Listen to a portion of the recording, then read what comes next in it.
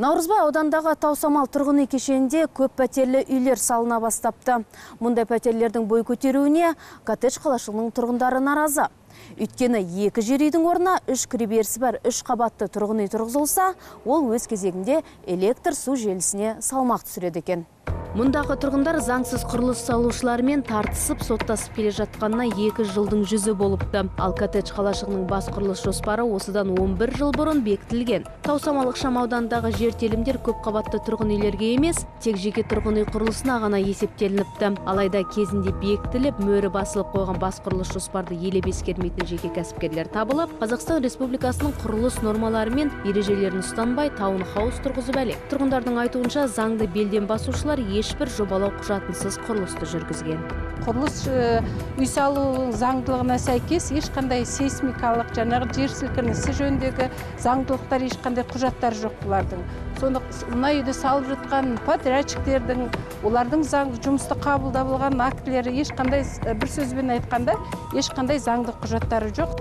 Коттедж қалашығының тұрғындары бейберекетсіздікті тыю мақсатымен заң аясында шешуге тырысып баққан. Тіпті сотқа да шағымданған. Нәтижесінде бірінші және апелляциялық сатылардағы соттың шешімдері тұрғындардың есебіне шешіліпті. Ал алматы облыстық кассациялық сот алқасы заңды күшіне енген бұл шешімдердің күшін жойған. Бұл ретте қалалық сәулет және қала құрылысы басқармасының мамандары жеке үй құрылысы жүргізілетін жерде көп пәтерлі үйдің тұрғызылуы заңсыз дегенді айтады. Егер кассациядан жеңіліп қалса ары қарай қадағалау орындары бар шешімге қарсы екендігіне жазып соларға жүгіну керек.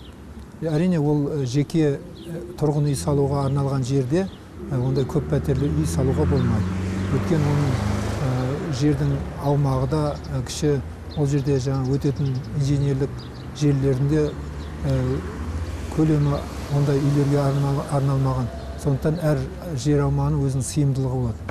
Мұнда төрт қабатты 420 шаршы метр үш соттық жері бар таунхаус сатылады деп жарнама плакаттары ілініп мен мұңдалап тұр. Дәл осы нысанға қатысты тұрғындар сот ісін жеңіп шыққан. Заңсыз тұрғызылып жатқан таунхаусты сүруге осы жылдың екінші сәуірінде келген сот орындаушысы мен құрылысшыларды белгісіз адамдар келіп қоқан-лоқы көрсеткен. Не болды жау шауып бара ма или біреуге мешать беріп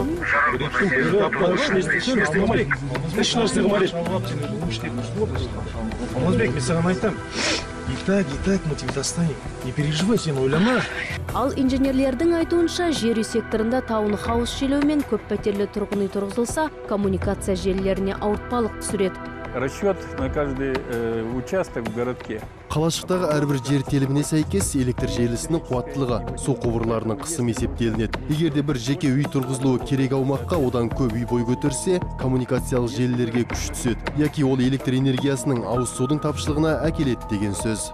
Тау самалында қазірдің өзінде жеті гектар жер көлеміне салынуы тиіс. 44 жеке меншік үйдің орнына көп қабатты тұрғын үй тұрғызылып 112 отбасы қоныс теуіп үлгерген. Бір қызығы бұл пәтерлер жеке үй құрылысы ретінде заңдастырылыпты.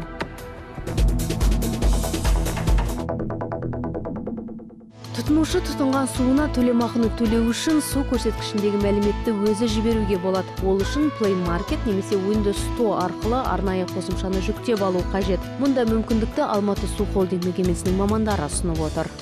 Бастау мемлекеттік мекемесі өздерінің айтишниктері арқылы суық су және ыстық су есептеу құралдарының көрсеткіштерін ғаламтор арқылы жіберу болатын арнайы мобильдік тұлға өңдеп шығарды. Суық су алматы деген көрсеткіш деп аталады.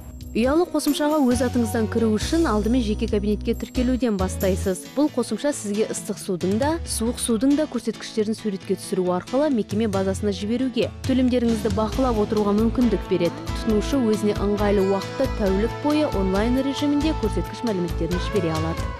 Бұл мобильдік тұлға мүлдем тегін және де тұтынушыларға өте ыңғайлы. Себебі тұтынушылар әрдайым үйінде отырмайды. Қай кезде үйінде болған кезде сол уақытта келіп автоматты түрде шешіп показанияларын суретке түсіріп біздің база даныққа жіберсе болады. Сол жағынан өте ыңғайлы тұтынушыларға. Енді абоненттер мекеменің кол орталығына қоңырау шалып бақылаушылардың келуін күтпесе де болады. Тұтынушы ұялы қосымшаны ашып су есептеуіш құрылғысын онлайн режимде суретке түсіріп онан соң арнайы бағанаға есептегіштегі көрсеткішті жазып жіберу батырмасын басу арқылы мекеме базасына жолдай алады. Қазіргі кезде қосымша тек android бағдарламасы орнатылған қалталы телефондарға арналып отыр. Алдағы уақытта iphone телефонына да арнайы қосымша нұсқасы әзірленбек.